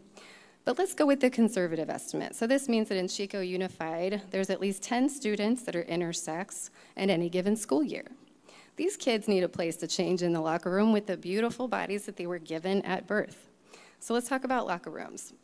According to the Assembly Bill 1266 and the Department of, of, California Department of Education, schools are required to foster an educational environment that's safe and free from discrimination, regardless of sex and gender identity or sexual orientation. It states that students shall access the restroom or locker room that corresponds with their gender identity they have asserted at school. Additionally, and I'm sure other speakers today will make outlandish, non science based, and non factual statements about this issue. First, I just want to say I'm sorry that these individuals haven't been educated enough about the issues related to intersex and transgender students to understand it's common practice to allow people to be their authentic selves. Secondly, the California Department of Education website clearly states that students who desire increased privacy, regardless of underlying reasons, will get a private changing area. It sounds like we're doing that. And this means that schools are required to allow intersex and trans kids to change in the locker room of their choosing while also providing a private changing space for anyone who is uncomfortable for any reason. Schools cannot, however, require a transgender student to use those alternatives because requiring a transgender student to be singled out by using separate facilities is not only a denial of their equal access, it also may violate the student's right to privacy by disclosing their transgender status or causing others to question why the student is being treated differently. And I just, just want people to leave our, our queer students alone. I really do.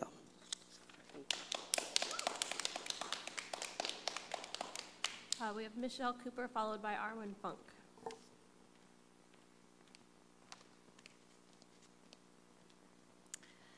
Um, I just want to start by saying that I echo all the sentiments that Mr. Mossman said. I mean, I think the big issue here that was not addressed in this presentation was that we have biological male students changing in girls' locker rooms.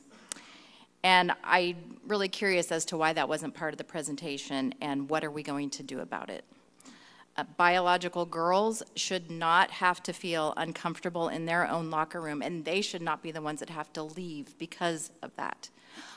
I question any female here if you would be comfortable taking your clothes off in front of a boy.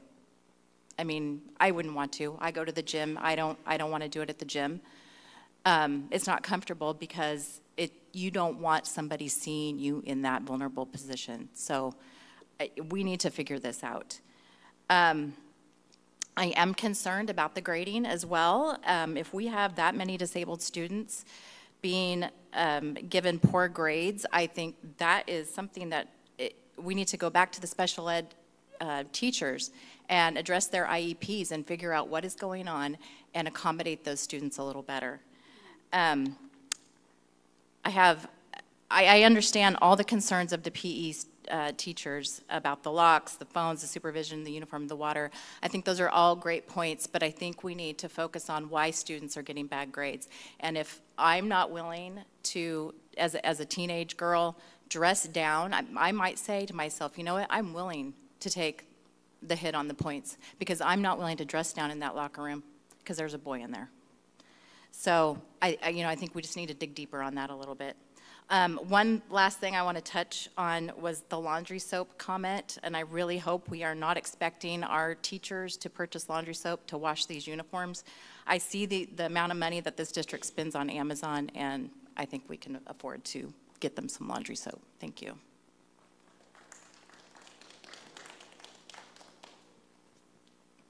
Next is Arwen Funk.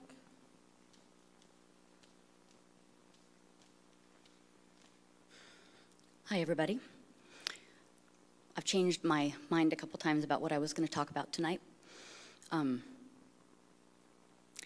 I've come to most of these meetings for the last year about once a month, and I have watched Claire and Sean Mossman come up here and ask for help.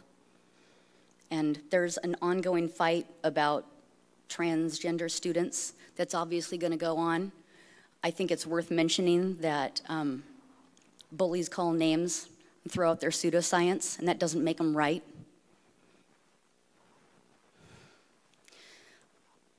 The reason you say, oh, well, we're following state law, well, we all know there's laws that are ridiculous, but it's all about how people feel.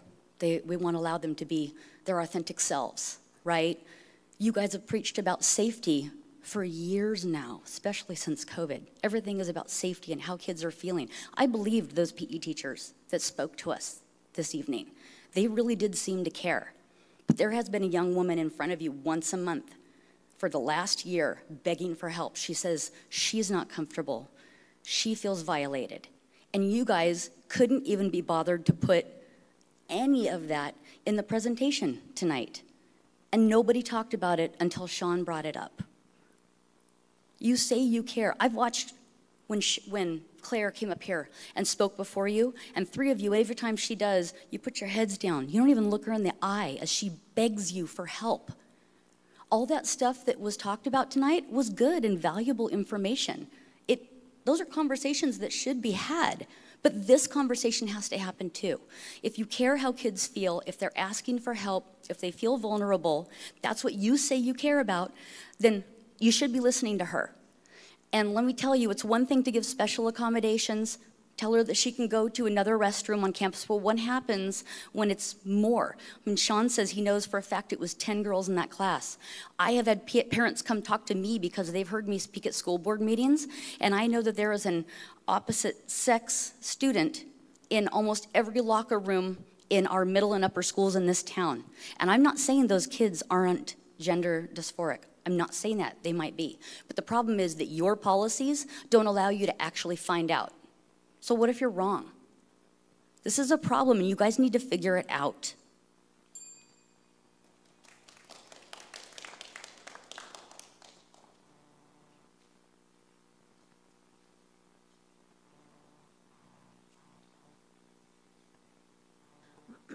Uh, This is informational only, excuse me, and so no action is needed.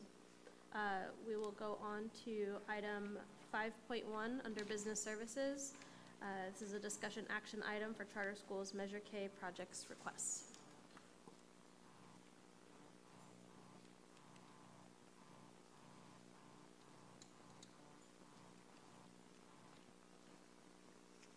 Hi, good evening. Thank you for having me here tonight.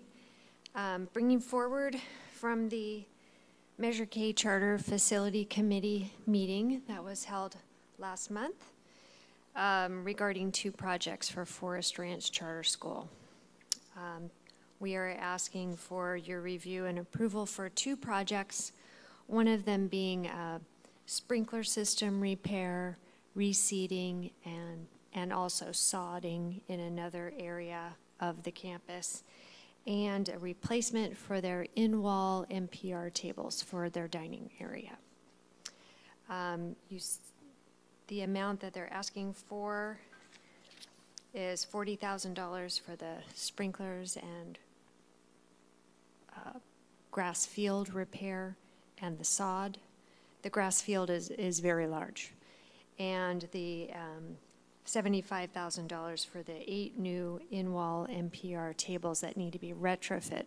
When the campus was constructed, uh, the tables were built in and those tables are no longer available. So there'll be retrofit tables, um, specialty, especially made for those. So tonight, we're bringing those two projects forward with Measure K dollars for Forest Ranch Charter School.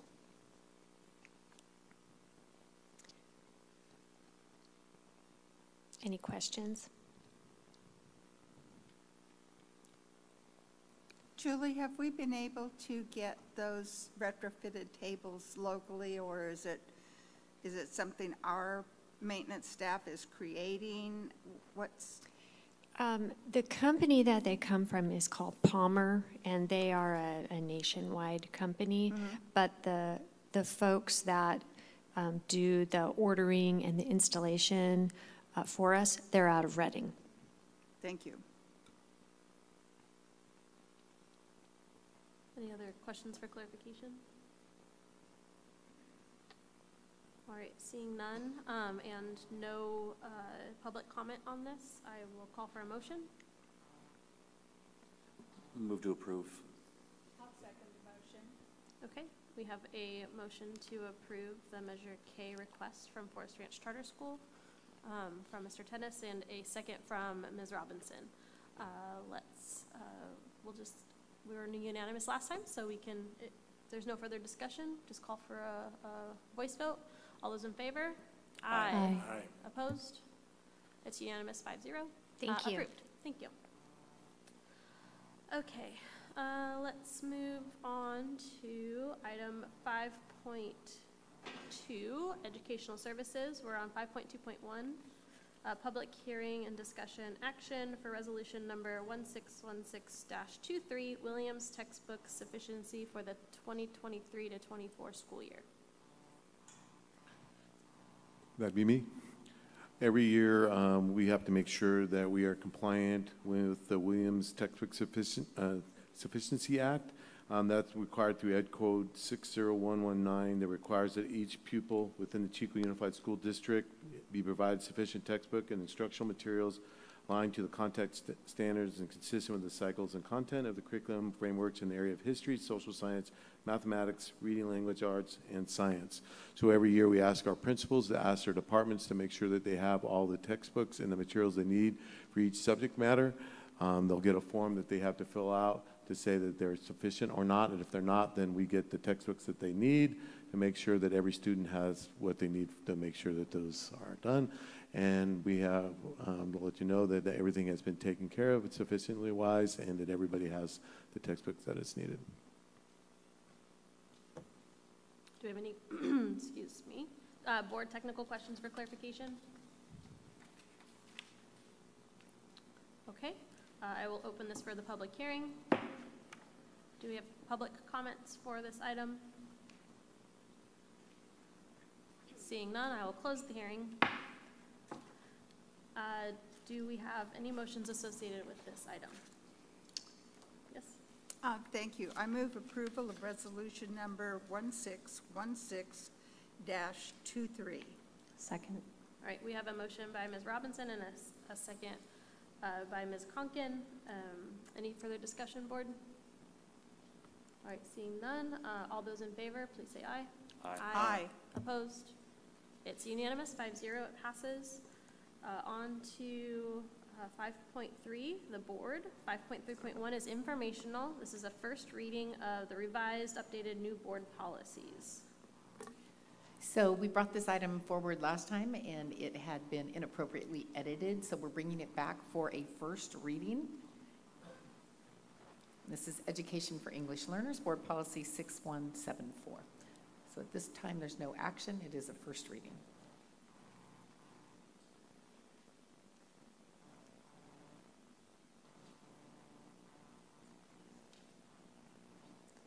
Okay, any questions, board? Seeing no questions uh, and no public comment on this item, I have a question. Oh, okay. Um, We were talking about another board policy that's on the next agenda item. Um, I was talking about it with you, right, Mr. Marchand? And um, the references of the code sections that it was relative, relevant to had all, were all struck out in that one. But I noticed that in this one, they're not struck out. Yeah, when uh, you and I spoke, and then when I was um, talking on behalf of the district about the strikeout material, we ended up calling, or uh, Ms. Staley ended up calling the CSBA to get clarification on that. Would you like to? Sure, happy to. So uh, thank you for bringing that forward. And we did call CSBA, and in the directions that they sent to us, it said that the references were not to be part of board policy. But what they meant by it not being part of board policy is they aren't actually up in the policy. What their intention was is exactly as they are here, that they're designated below as a reference. So we have now gone back and removed those strikeouts, and we will just leave those there. Um, and we did learn that they're in the process of making those references um, active links so that you, that you can click right on them and go straight to Ed Code or Civil Code. Okay, I like that. So thank you for bringing that forward. Yeah, bring that forward. I gave you bad information originally. Sorry. Okay.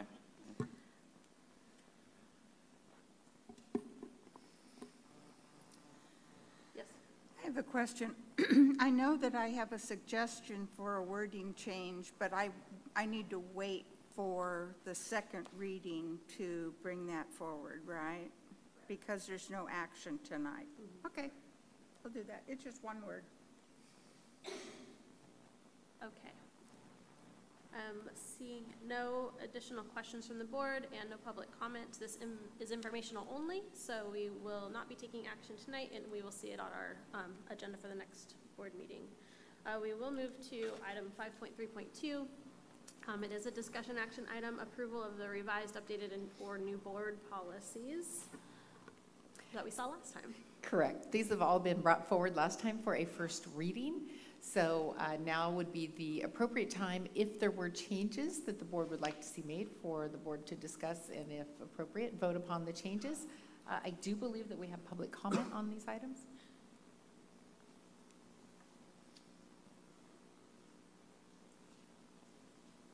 Do we have any questions for clarification from the board on these? Or Um, comments, or I guess questions? Yeah, just that we are deleting one board policy, and I think we already talked about it, but I just want to get it on the record. What's, what's the story with the deletion of 5141.6?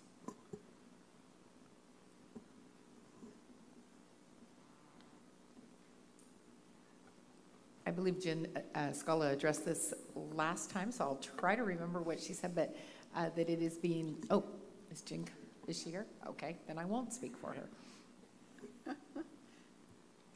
She's very careful, care- capable of speaking for herself. Thank you. Happy to. Hi. Um, Last board meeting, we talked about deleting this board policy because it talks directly about bringing health services onto our campuses. And at this point in time, that isn't something that we're um, considering. We have the community schools grant that we're working on, so it's not, I'm looked at, looking, we're not looking at that at this point, but maybe in the future. So it's just not something we can feasibly do with bringing nurses and doctors and dentists on campuses. That's what this board policy is looking at. Thank you. And we tend to not have board policies that we can't feasibly do. Agree. Thank you. Um, At this time, it looks like there's no additional questions for clarification, so I will call up our public speaker. Again, three minutes with a 30-second warning at the, um, at the end. And uh, we are going to hear from Loretta Torres.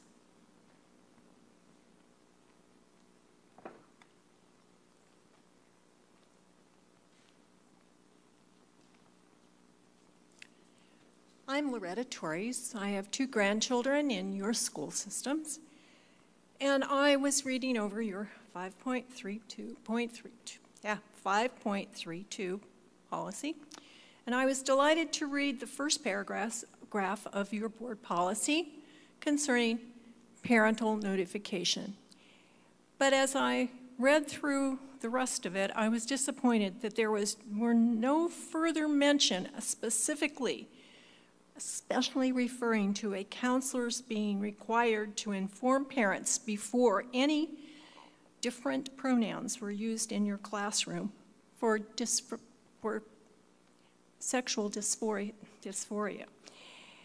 Because a counselor who actually was at the root of this Aurora Regino lawsuit a couple of months ago wrote 900 words in the ER. And this lawsuit is still being adjudicated and appealed.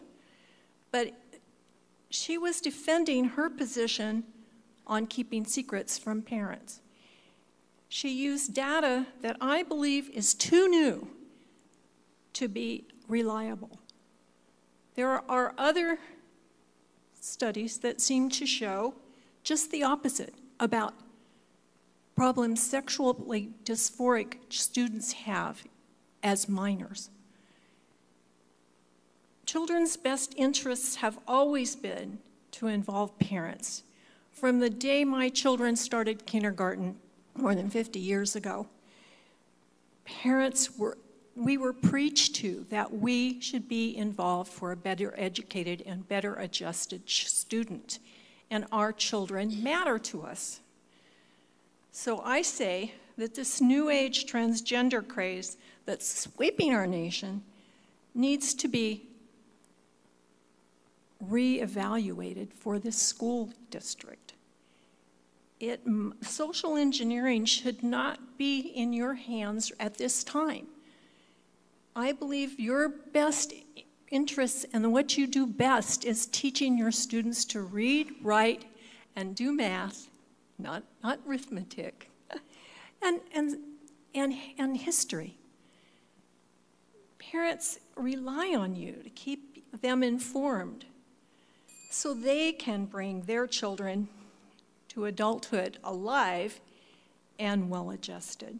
Keeping secrets is not the acceptable solution here. Change your policy wording.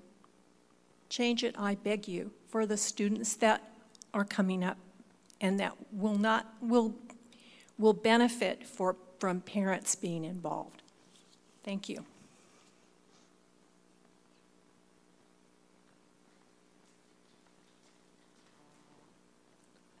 All right, seeing no additional public comment, uh, board, do we have a motion regarding this item? I move approval of all the changes. I'll second that motion. Okay, we have a motion and a second. Any further discussion, board? Uh, Seeing none, uh, all those in favor of approval signify by saying aye. Aye. Aye. Opposed? Uh, It's unanimous, five zero. Thank you. Um, Next up is item six point one. Um, This is a board member request to agendize item. Uh, The discussion action item to, is to, is a request to agendize a presentation with discussion and possible action about the open status of the high school campuses and the issues that students and the community are experiencing related to open campus policies. Um, and this was submitted by myself, um, last week. And, um, I'm just gonna pull this up really quick. So um, the full context was attached um, in our fancy form. Um, this item addresses goal three and four to provide behavioral instruction and supports as a proactive approach to creating a safe, positive climate in school culture. Um, and additionally provide those supports for academic, social, emotional, and behavioral needs of foster youth students. Uh, my rationale uh, for requesting this item come forward in a future um, board meeting um, is, it says, so far just this school year, there have been numerous reports of off-campus fighting, theft, vandalism, littering, loitering, vaping, smoking, and general poor behavior during school hours observed of Chico Unified students uh, due to open campus policies at the high schools and also school cuts. Um, I believe the board needs to be updated on these issues and potential action, potential action may need to be taken to uh, look further into it and potentially um, move to considering mitigation for um, these uh, disruptions. Um, and then it goes on to talk about our LCAP goals and how this is related to that, but I'm not going to read that off because everybody else is perfectly capable of reading also. Um, and so uh, that's my that's my request. Um, I'm not asking that we close school campuses or anything like that. I think that it would just be beneficial to get an idea of what these reports consist of and, um, and what that might mean for how to address those, those issues. Um, At this time, I'm not going to support agendizing this item. Um, Hold on one second, because I think that so- since this is our first time with our new process, I think we would need, so this is my motion, um, we would need a second for discussion. I'll second it for the purpose of discussion. Okay, thank Carry you. on, please. um, At this time, I am not going to support um, uh, agendizing this item. Uh, I've kind of dug in and did my own research on the issue, and I reached out to administration at both Chico High and also PV, and just wanted to get an idea of um, basically uh, what what kind of activity is happening um, when when students are leaving campus. And I, I know the what we're talking about is is the lunch hour or 40 minutes, and from what I understand, 10th, 11th, and 12th graders are allowed to do that now. Um, as a mom of a 10th grader, I know it's a huge deal for him. It's a big rite of passage, um, and it's a privilege for these students to leave campus. Um, and in talking with administration, it's really not an issue that that maybe is significant enough to address, in my opinion, with a meeting. I also um, found out a lot of the activity that's happening is um, not necessarily by Chico High students in regards to some of the activity near downtown, but more of a um, unschooled, even um, students or 19 year olds who are coming from even outside of Chico and um, creating a lot of issues, um, from what I understand.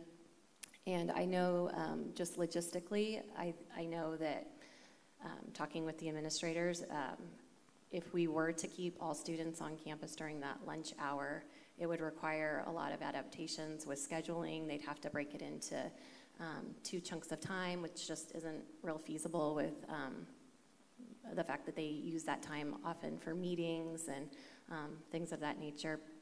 And also, um, in talking with the principal at, at PV, um, Mr. Whitaker, you also made the point of at one, I, I believe they've been doing this for about 15 years, and at one point in time, they realized like um, ninth graders, it was something that they would just maturity wise, um, it wasn't something that they could handle, and they were seeing a lot of issues with that. So they um, made changes based on that and decided that you know it was a privilege that um, was for 10th, 11th, and 12th graders. And the way I see it is the kids are, for the most part, you know, they're um, doing a great job. They're following the rules. And I think to take away a privilege that they've had without um, them significantly violating the privilege is, is unfair. So I, I don't even want to bring it to, to talk about. I don't see it as an issue. Um, so the context behind what pushed me to do this, and I have no vendetta against open campus policies. I really don't. I support it. I understand the, the all of the positive aspects of it. Um, was that I I observed more than a few dozen students in congregated in one location, um, kind of spread out a little bit in smaller groups, doing all the things that I well, no, I shouldn't say all. I did not witness vandalism at the time, um, although that could be arguable for for where they were. But I, I, witnessed these students during the lunch hour, CHS lunch hour, within walking distance, so inferring then that these are CHS students, um, smoking, vaping, smoking marijuana, all of it witnessed firsthand. And it bothered me enough to reach out to district staff and find out, you know, what are some of the reports coming in. And I've heard these reports from other agencies in our community that these things are happening during the school hours. And so I was concerned enough to want to hear more information about it and and how how could that even be addressed? How can we how can we help safeguard especially our most vulnerable kids from being allowed during school hours when we are supposed to be responsible for their health and safety from doing these things? Can, which range from drugs right? Smoking um, loitering littering the things i listed here um, from doing things during school hours that are just not appropriate for kids. Like, these things are happening because of the open campus policy. So how are, okay are we with that? Uh, or, or just not even digging into it a little bit more to find out if there's any kind of parameter that we can help mitigate those, those actions that our, our students are taking. You just said that you communicated with staff to find out what had been reported, right? And you say that so far, district staff, so far just this school year, there have been numerous reports of off-campus fighting, thefts, vandalism, littering, loitering, vaping, smoking, and general poor behavior during school hours. So I wanted to see this same data. So days ago, I communicated with staff. And um, today we got an email telling us, in response to my question, uh, what the reports have been. This was interesting, and I'm, I'm just cutting off for a second because this is, I know the email, because I got the email too, and it was in direct uh, opposition of what I've been told by other district staff.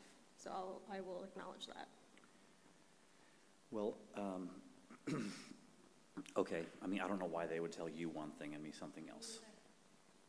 So, according to the email we received today and according to information I received verbally earlier, Chico High School has had one documented entry in the assertive discipline tab um, uh, regarding something that happened off campus. Um, I was told verbally that PV had maybe two episodes involving potential shoplifting at, at, at Safeway. Um, This email says that PV has had one documented entry, uh, entry of assertive discipline. Um, I think that maybe some of the kids who are involved in some of this kind of activity are students who don't actually really go to school. And so they're just kind of maybe floating around town, so totally unrelated to, to the, any, open campus policy, just bad things happening. You know, like take children's playground, for example. Mm. at least thirty students at Uh-huh. one time. And, and the reports are from other agencies that it is as many as sixty students at, at, Yeah. during those hours, during those lunch hours that that is taking place. So again, this is an agenda, a, a request to agendize this item. to have this- Excuse me? Your mic is on. Your I mic can is tell on. you. Sorry, thank you. I thought, I thought you were trying to yell at me. I'm more used to you guys being yelling at me than, than, uh, being concerned that you can't hear me. I'm sorry. Let, let me give you a little, uh, some, some props, actually. Um, hey, look, far be it from me, Matt Tennis, to say that, you know, kids don't leave campus for lunch and smoke pot and, and vape and use foul language and, and, and behave in ways that they shouldn't. Okay? I mean, yeah, I'm not going to deny that. I, whether the, the, the office, you know, thinks so or not. I mean, yeah, but in a way, though, you're just kind of describing humanity. Yeah. Right? I I mean, don't people go off and smoke weed and, and, and do school things they shouldn't do and be obnoxious and Or stuff on like that? I mean, campus, for that matter? You know, but, but, but the idea that we pin the blame for bad things that happen around town involving people who are Chico Unified students or people who maybe even kind of aren't, um, the idea that we would put the blame on that, you know, on the open campus policy, and then the things that, that Ms. Konkin brought up, just the impracticalities of making a change to the open campus policy. I think that your point that I think is, re- is really well taken, at least for my part, is that, yeah, we should be vigilant to monitor the behavior of our students when they're off campus and, you know, respond to complaints from the community, you know, as best we can, is what I think we should do, and probably leave it at that. If there's no record of wrongs, how can we, you know, be more proactive than, than just being responsive when they do come along? Mhm. Yeah, I would say that the assertive discipline list is not a comprehensive list of things that are happening off campus. So, if I may, Mhm. um, it seems like several board members have had conversations about safety issues with the staff. And I think one of the upsides of agendizing this is that we can get all this information to the public, where all of us can hear it and the public can hear it as well, and make a better, more well-rounded decision about this. Um, I will uh, echo what Ms. Dalby said. This is, I have no interest whatsoever in um, closing our campuses. I agree with you as well, Ms. Konkin. It's not feasible. Um, It's not really on the table. So the way this agenda item was presented um, is a little sticky maybe. But that said, um, we probably ought to hear about what's going on. We've already had a big discussion about it, right? It's, it's worth having an actual, complete discussion about with prepared remarks and data from staff, so we can get to the bottom of why there are disparities between what different people are hearing. Um, Would it be like more appropriate rather to have it be um, within the context of the open status of high school, rather like discussing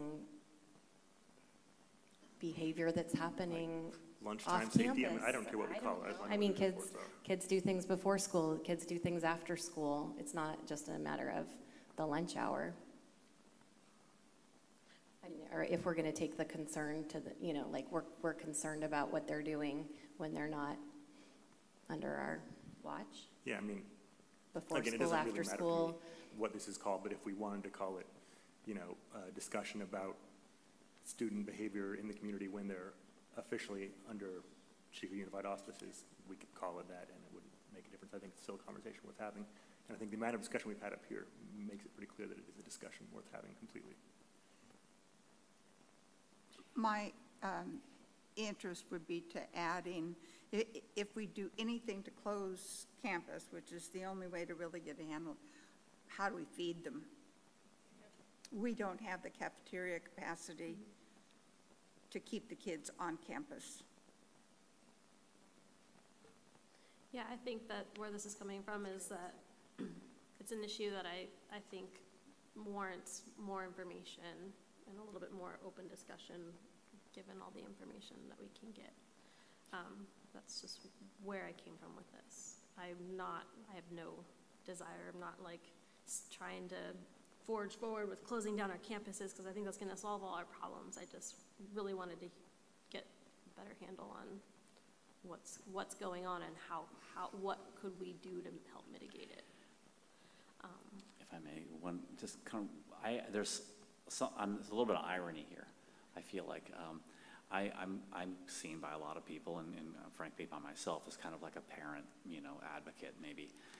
And isn't it parents who are normally like wringing their hands over those naughty kids, you know, and needing to rein that behavior in and, and stuff like that? But I, I just don't feel that way in this situation because, um, it's kind of like, you're looking at humanity, you know? I mean, these, these, are just human beings going off and, and acting inappropriately. They're bad citizens. Um, I think that we teach citizenship to a meaningful degree in the public school system when we, you know, uh, salute the flag and so forth, and we enforce rules. You know, there's ways that you're not allowed to behave on campus. I think that, that we do a, I, I, I guess I think we do a respectable job on, on that. To go off on a, on a, basically what kind of amounts to a, a, a kind of a hand-wringing, you know, nanny government witch hunt of how kids are behaving on, during, during lunchtime, it just seems like a road that will lead nowhere to me. That's all I'll say. Um, and for clarification, I suspect that we all up here consider ourselves parents. Is that reasonable to assume? Thank you so much. And I'm going to just jump in here for a moment and say we're really talking apples and oranges. We have the solid data that gets reported in our Aeries system for students that are caught doing something and disciplinary action is taken. There are many, many more reports that come in about students behaving in a way, whether it's verified or not, where we get complaints from our community that students are hanging out in an area, students are doing drugs. I was sitting in a meeting just this last week when the Chico High principal got called to go down to Children's Park because there was an incident happening. Um, and when he gets there, finds out it's not Chico High students. So we, we hear lots of things from our community, but then being able to prove that those are students and that discipline is taken, it's just two different, two different things. So I think there are definitely reports, there are perceptions um, that our community has, and, and we all see that. Um, and then there's the actual difficulty um, in verifying and proving that it is a Chico Unified student and that action is then taken. And like, is it worth your guys' time and our administrators' staff's time to, to, to track, track that down and, and only to learn that it's not even one of our, one of our students? Is that why, you, is that, is that really in keeping with your mission? You know, or, or, I'm asking a rhetorical question, I know the answer. No, it's not. You know, your mission is a whole big, long list of other things that, that we are asking, you know, our staff to do. Um, So, Well, I would like our students to always represent us in a positive manner when they're out in our community, but you're right. I mean, that doesn't always happen, and that is humanity. Uh, But it doesn't mean we're not going to keep trying. Um, we do have one public comment, um, so I'd like to jump to that, um, before we wrap up our discussion and, and, uh, vote. So, um, we have Arwen Funk signed up for this item.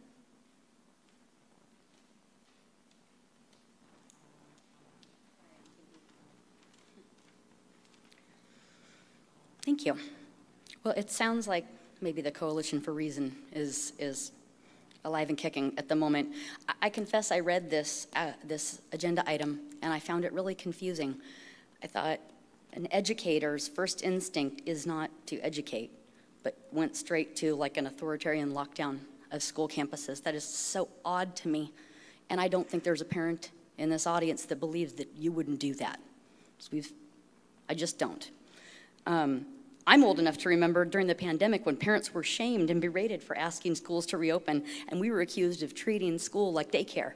And now you literally want to create a daycare for teenagers on these campuses. There's, um, it sounds like you guys might be heading this direction anyway, but there's a whole world of curriculum out there to coax better behavior out of juveniles. Maybe that's the answer. Maybe you could even get creative, make it a competition, right? The most kids who get back onto campus by X time make the schools compete with each other. I don't know, but um, I don't think I need to say a whole lot more. I think if you are going to have a discussion about this, which is probably warranted, I think we would agree that if there are kids out there in the community behaving badly, there's some rationale for having that conversation and creating some kind of an incentive structure for them to behave better.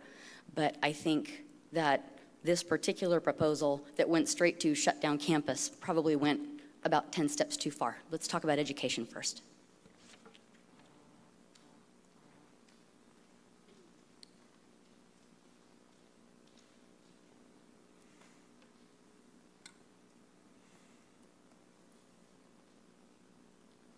Just want to clarify that in nowhere in my proposal, it was confusing, and it was my first time filling out this form with a real topic, so it was an exercise for me, but I never mentioned closing campuses. I did say mitigate, which could mean a lot of things, so, um, yeah, that's, I'm, I'm asking for us to just take a closer look at the topic. Um, with that, I feel like we've discussed this way more than we probably needed to, um, given that we have spotty information, um, provided at this time, which is why I requested to agendize it. Um, so I'm gonna call for the, I'm gonna call, I'm gonna, I'm gonna, um, ask one more time. Are we ready to vote? I'm not gonna call for a vote because that's a whole nother vote. Um, all right, we'll do a voice vote on this one. You ready, or do you have another comment, question? Okay. Um, I'll start because that's obvious. Um, I, I say aye for agendizing this item. Um, actually, let's, ro- let's roll back. Do we want to reword it at all, or can we just, we know what we want to get out of this item? Staff is nodding at me. Yes, yes, yes, yes. Okay, are we good? Everybody's fine? Mr. Lando? I mean, uh, Ms. Konkin, do you feel more comfortable if it wa- if it was worded differently? I absolutely don't like the fact that the open status of the high school campus is even in there. I mean, is it, I mean, do we want to agenda, agenda, put on the agenda talking about issues that are happening with our, our students in the community? During school hours? Or during what, what Tom said? No, I mean, I think during school hours is fine, yeah. Starting So, at I guess- eight, oh, whatever, when they start school versus. That's too specific. But I guess can I make a friendly amendment then? Um, Mr. Shepard's giving me a funny face. Well, not necessarily a face, just ed code. Um, if we're going to agendize something that includes student discipline, just ed code relates to students, the, the, their first step off their campus, off their uh, property to school, they're ours. And that, that's in force until they get home. And so it's not just when, you know, 801 or, or 331, just want to keep that in mind. So I guess, I'd like to offer an amendment, potentially friendly, uh, that we change the title to uh, discussion about safety and behavior of students during the time when their behavior is the responsibility of the school district. Or something like that.